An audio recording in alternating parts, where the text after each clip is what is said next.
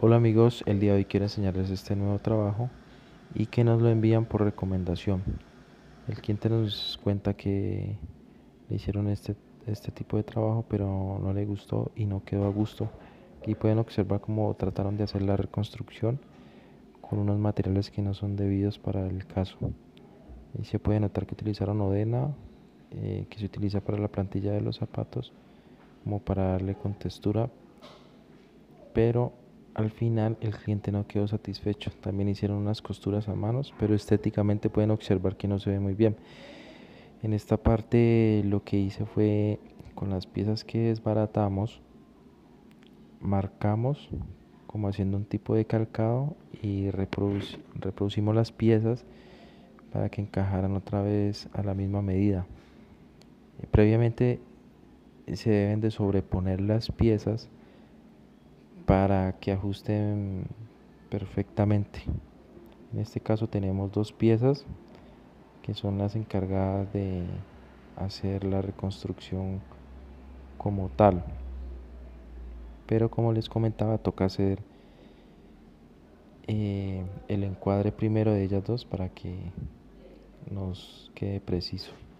En esta parte ya las instalamos y estamos haciendo las costuras porque si nos tocó escocer en varias partes el lateral de la caña para poder hacer el trabajo. Este tipo de cirugía pues requiere de, costura en máquina. En este caso estamos haciendo una costura en máquina de codo que utilizamos para estos casos porque nos permite una costura con buenos terminados, buenos acabados y a la final eso nos va a permitir una buena estética estamos cosiendo la parte del talón que está elaborada como en un color dorado. Y para posteriormente pues, seguir cosiendo las, las otras partes de las piezas. De esta parte vamos a hacer las otras costuras que nos faltan. Aquí se puede observar lo que les comentaba. Ya estamos haciendo la costura del, del lateral. Estas costuras por lo general tratamos de hacerlas despacio, sin afán, para que no nos vayan a quedar torcidas y nos quede lo más bonita posible. Eh, las rematamos al final y al principio para que después no se vaya a descoser el trabajo y el hilo.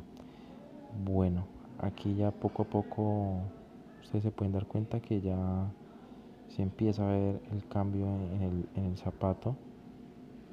Entonces pueden observar el trabajo final. Ya hicimos todas las costuras.